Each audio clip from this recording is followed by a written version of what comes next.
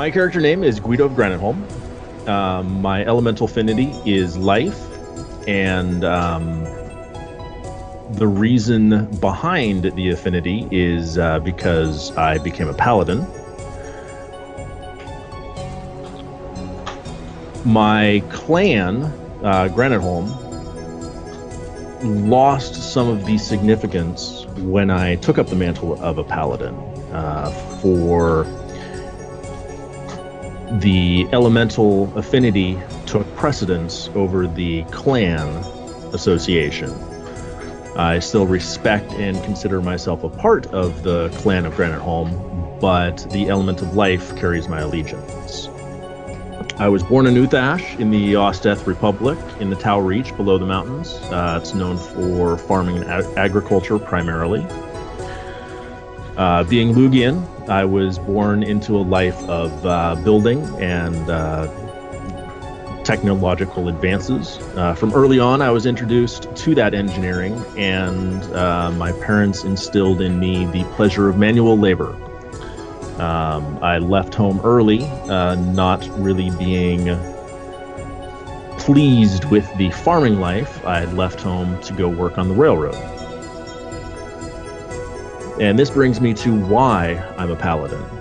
Uh, while working on the railroad, I uh, healed a friend of mine, and in the process of healing him, the elemental uh, life healing, the ability lay on hands, uh, was granted to me. And that's how I knew I was a paladin and uh, took on that responsibility. I knew I could uh, channel life and heal people, and I uh, followed the calling. Which leads me to why I became an adventurer. Uh, once the rail- railroad was built, I couldn't just go home. There was no real paladin need back uh, back in Osteth or the, uh, the the homelands. So my choice was either to um, hang up the uh, paladin uh, responsibility or leave home and become an adventurer. So I chose the latter. I had to become the adventurer. Um, how do we feel about our adventures so far? Um, we've had some difficulty focusing on some of the important issues, but overall, I think we've done some good. Uh, we still have a long road ahead of us, but I think we're on the right track now.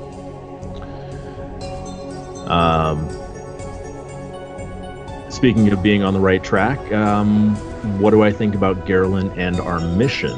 Um, I'm sure Gerlin thinks he has a good reason or thinks he's doing something good for the right reasons, but in my opinion, there is never a good reason for mass slaughter and genocide. So I don't know what he's doing, but he's going down. So that brings us to the war. Um, since recorded history began, peace without armed conflict between the nations is all that's ever been known. Uh, however, that's changed. It seems the destructive nature of Gerlin can contain itself no longer. Um, the world is plunging straight into an abyss of destruction, and we are the only line of defense. So we uh, we cannot fail. Um, desolation. Desolates are people just like everyone else. Uh, while it's difficult to maintain that belief in their presence, we must do all that we can to resolve the hatred and either find a cure or develop some method to offset the response to them. Um, and long-term goals uh, to reunite our people, uh, our people, the Lugians, with those of the Gotrok uh, rebellion and attempt to reestablish relations with our lost brothers. Um, they've uh, split from the Lugian people, and uh, we need to bring them back into the fold. And that's all I got.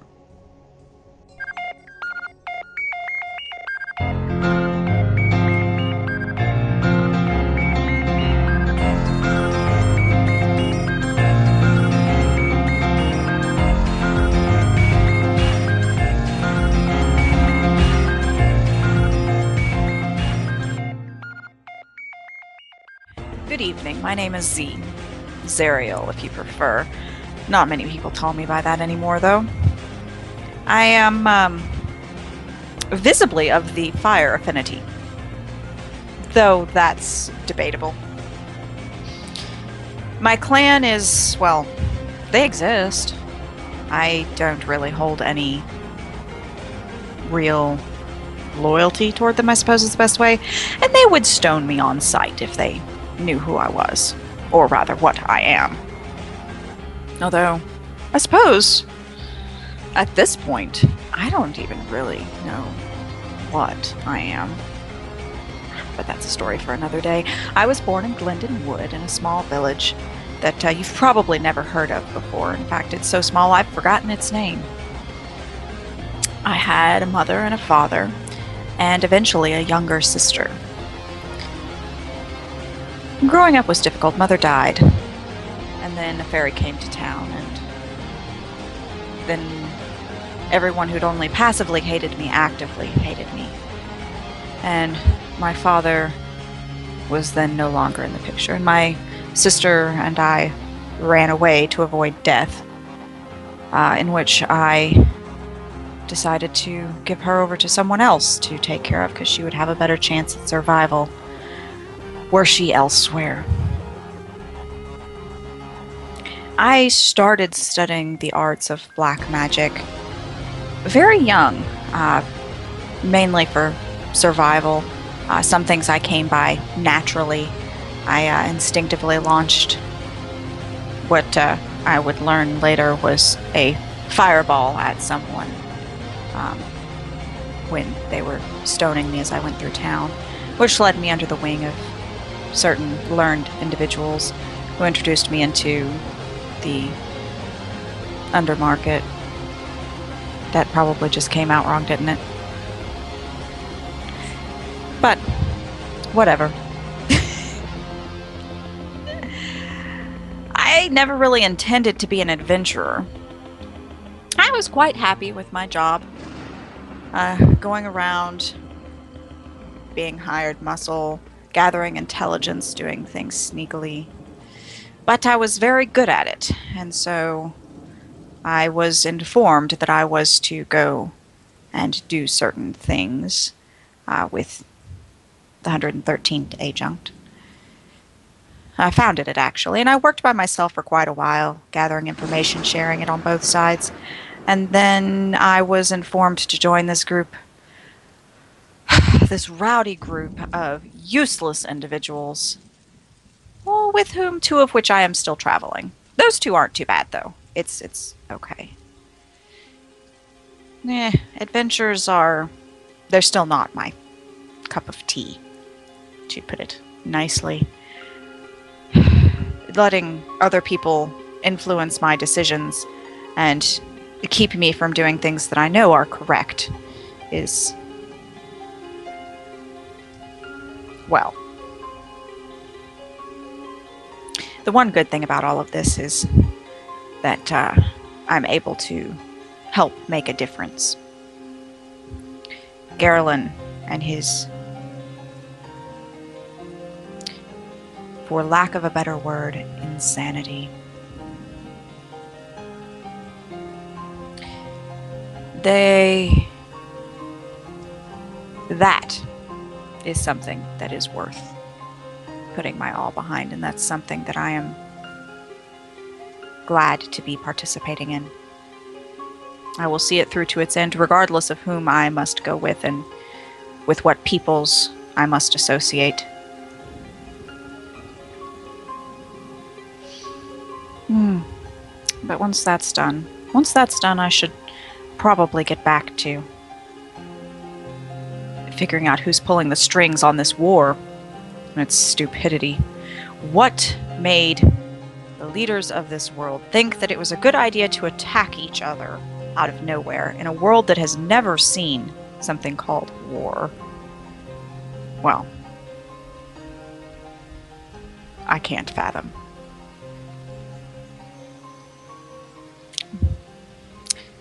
Had to have been something stupid. But the people of this world are pretty much solidly stupid.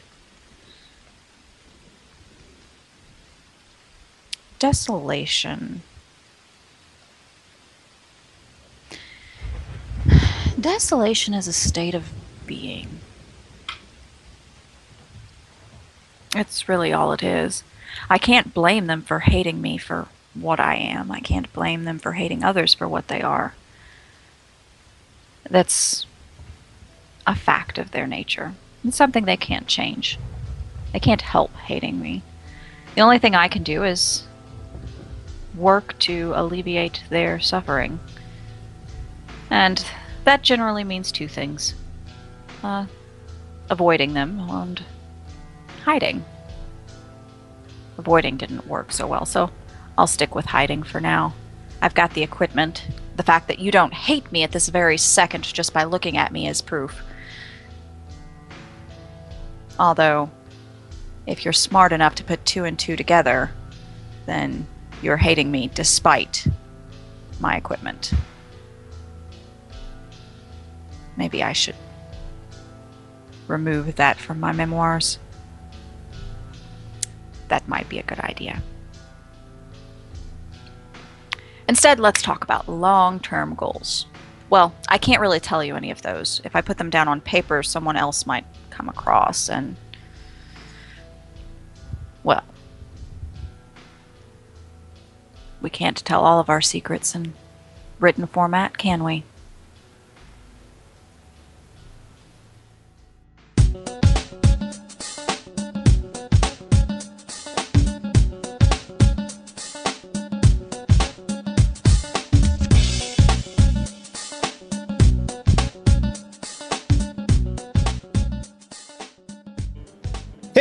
I'm Snarg.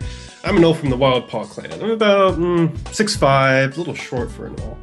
Uh, got brown fur, this nice little spotted pattern up and down my sides. Uh, that you could probably tell real easy. I probably look a little ragged at this point from all the stuff I've been hit with. You know, I've gotten burned, I've gotten zapped with red lightning energy, shot with arrows, hit with swords, yeah, that sort of thing. Despite going through all that, I'm still pretty young. Sometimes I think I'm gonna die young, you know? Eh, enough about dying now. I like to meet people. Everyone I meet, I make it priority to be friendly to them. You know, to give them the benefit of the doubt. And I'll stick to my friends and those who have helped or helped me. But if you betray this loyalty, you're gonna find it hard to regain it if you ever do at all. Anyone I'm loyal to, though, I promise I won't hesitate to rush into trouble if you need my help, or if I'm just plain curious about something that's going on. I do have some reservations uh, about some things. Uh, heights, big beasts that can rip you in half, you know, those kinds of things. But I'm usually able to find some courage to overcome that, you know, for better or worse. As you can tell, I like to joke around a bit, but that will turn around pretty quickly if you get snippy or threaten my friends. I do like to use non lethal force whenever possible, but I won't hesitate to use lethal force if you're dangerous then you'll see a little bit of gnoll ferocity. But where do I get that from? Well, let me tell you a little bit about that. Uh, like a lot of gnolls, I was born in the Stonehold States, right outside the city of Stonehold, in fact, to a Wildpaw tribe, parents for Blackjaw and Skycrusher. Uh, good old parents they were. I haven't seen them since I left with Boss Gnawbone, unfortunately. Now, the thing about us, or at least my village, is that we were mostly raised as pups by everyone in the village. I like to think of everyone in my tribe as my family, about on the same level as my parents. It weren't like they weren't special or anything, or they weren't around for me. I just found it's a little bit different than what others might think about them. Although our village wasn't directly in the city, we were we were close enough to trade and for me to visit there pretty often and learn from all the things going on there. Got to see a lot of interesting stuff going on got to see a lot of bad stuff going on too. But a lot of trade went to and from Stonehold from our village. It was a pretty good stopping point for a lot of the local traders who couldn't make it all the way to the city. We sent them a good amount of goods too, many things from the local forest. There are a lot of traders in our village. But my line, though, we were all pretty good fighters, and hmm, I suppose that's where I got my fighting blood. It comes in handy when you're backed into a corner. I was actually the first one in the family who dipped a toe into anything magic related in a while, especially something that wasn't meant for blowing stuff up. Family was fine with it though, since I could still pull my weight with a weapon. Yeah, they, uh, all my family were still in my home village when I left, and I hadn't heard they'd left since, so they're probably. There are a lot, of, lot of refugees from Stonehold, so I'm, I'm still hoping they're with them. If you see or hear any of the Wildpaw tribe, let me know especially if you see anyone like uh, Splintermaw, Nahida, Rockfist, Blackjaw, Sharp. You know what?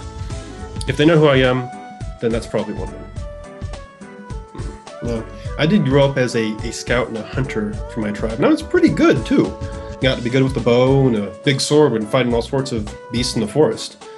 And it was around that time that I actually changed my name to Snarg. Bet you didn't know that. I wasn't originally named Snarg used to be Blade Tooth until I thought I should change it to Snarg because it meant me and not some other stuff like sharpness or ferocity or whatever they could think of.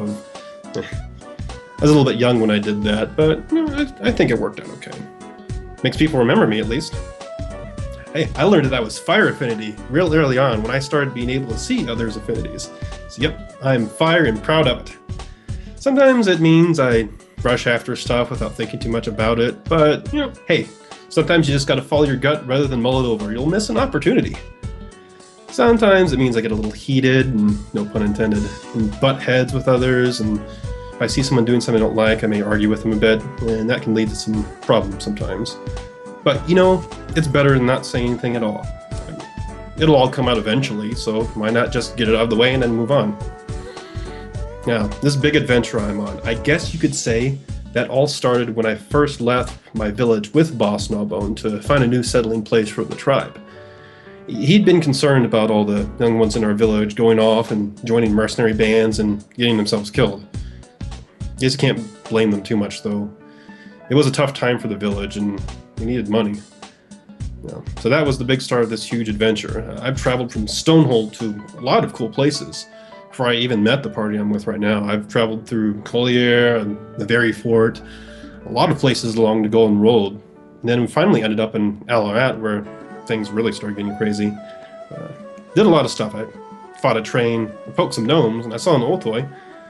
I got a lot of stories to share about that, but yeah, maybe later. All along the way, I picked up even more useful stuff about living off the land, the different peoples of it, how to traverse it, and that's probably why Boss Gnawbone chose me to guide the group of adventurers who are leaving from Alarat, to Cannith. He took me to, told me to look out for settling places for our tribe while I was there, and I kept sending back locations, but yeah. Right now they're busy fighting with the local militia to protect places in the Very. I don't know if they're alive or dead, and I really want to go back to them, but well, you know what? I'll go over who I'm traveling with right now. Uh, there's two of them a Lugian paladin and a black mage elf, maybe. I don't know. I don't really care. The Lugian, he goes by the name of Guido. He's got a real engineering knack, as Lugians tend to have. That saved us a few times. He's willing to plant himself right in front of anyone, keep him out of harm's way, and he ain't bad at it either. I've seen him take a whole group on, and they weren't able to hit him even once. He's pretty fun to pal around with too when we're hitting taverns. Got a lot of the same tastes that I have so far. I feel bad for him though, since he uh, he caught Desolation when testing out some of the machines we fought to fight Garland. Uh, and unfortunately know a little bit about how Desolation works, and I hope I haven't been too mean to him. I, I know he's not one to take things like that to heart, but this whole thing does seem to have been wearing down on him. All he does is mope around in taverns since the accident, and I really want to try and help him, but I, I don't really know how. I always try to find something for him to help with since I know he wants to, and we really need his help, but it's hard.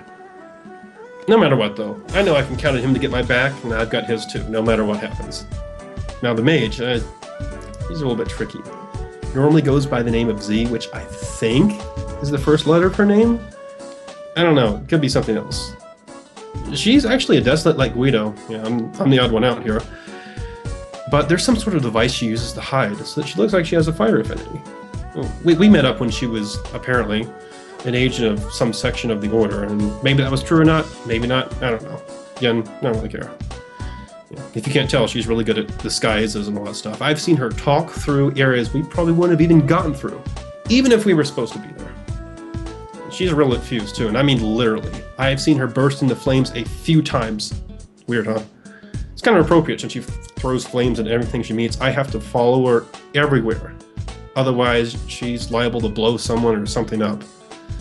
I think she's got a few trust and nervous issues with anyone who isn't a desolate. I mean, I trust her myself, and I think she's good with me, but I'm always watching her. I do want to help her in the desolates that she protects. Just find some kind of peace in this world, but until we find a way to do that without wiping either the desolates or the other sides out, I don't know what to do. But I do consider it my duty to protect her, all the desolates, and the people who aren't from all this bloodshed. Before we can solve all this, though, we're going after Gerlin. He's the main target. Now, personally, I think he's plain nuts. He's got some reason or something for what he's doing, something to do with wiping out the shadows, I guess. But he ain't told us what it was aside from spouting some nonsense about being slaves and whatnot. Despite being a loony, though, he's, he's pretty powerful, but he ain't the most clever from what I've seen. I think we'll be taking him down without a full frontal assault. Got some ideas for what to do, to use some of his own stuff against him. Uh, science stuff, I mean. Been learning a bit about that, how to use it and operate it. And we'll see what happens. Uh, speaking of help, it doesn't help that we don't get anything from the 11 anymore. I don't have a lot of good things to say about someone who promises to help and then backs out after dumping you on a murderous island. You'd think if they were really concerned about what was going on to help save this world take little more than a few disagreements among people who are already forced together to cause them to completely back out. They also lied straight to my face about something important, so I, I don't know what to believe from them. Although I'm still going forward with saving this place no matter what. It'd take a lot for me to trust them again if they showed up. They, they lost my loyalty, and I doubt we ever would have had theirs. They also seem to be like the kind of people who'll dump you the first time something comes along, kind of decide to start things like the war we're in now. They don't really care what happens as long as they get what they personally consider to be the best result in the end. This war, speaking of this war, hate it. I'd stop in an instant if I could. People at the top deciding they need something and they're willing to do some anything to get it, even sending my own brothers and sisters to the slaughter against their own just for some promise that they won't throw them off of their land. Now, I'm I'm not normally for stuff like this, but if I knew who was responsible for all this, I'd clean house and put a stop to all this war. But stopping Gerlin from completing his insane mission is top priority. I don't see how there's anything that takes priority over that, really. I mean, I, I really want to get back to my tribe, to get them out of the hellhole that they're in. But I've since made with the peace, peace with the fact that I can't do anything other than giving my all to stop the destruction of you know, everyone on the continent. I mean, what use would it be for me to return to them? It just meant they'd die anyway. When all of this is said and done, I'm gonna go back and see if there's anyone still remaining in my tribe, anyway, who's escaped the war. I'll rebuild it, even if there's no one else left to do it, by myself, as a new boss if I have to. And you know, it'll be a nice place, a peaceful place, where you don't have to worry about being in the middle of conflicts constantly or being turned away. It's kind of you know, I guess that's kind of what the Desolates want too. Uh, I'd like to do something to help them at the same time as well, although what I can do for them, I, I don't know. Because of the way Desolation works, they won't want to live together with the tribe as things are now, and vice versa. I don't know. Perhaps in my experience, I could we could learn together to overcome some of those barriers. Hmm. As far as some personal things, you know, I I always wanted to find someone who practiced in geomancy and, and learn from her or them. I've, I've had a bit of a, a, fascination with it ever since I found out I was pretty good at working the elements and seeing geomancy in action a while back. There was a there was a pretty little gnoll from another tribe who, who showed me a bit about it a while back, and well, I'd like to meet her again if she's still out there. Anyway, I'm confident we'll be able to overcome this whole Gearland situation, bring at least some, at least some small semblance of peace to this place. You know, even if we're not recognized for what we do, and we're not recording some history books, I'll feel confident knowing that we we helped save this place. There may be some stuff that comes after this Gearland situation, but and one step at a time. One step at a time. But now, if you'll excuse me, I am thirsty and I want some water.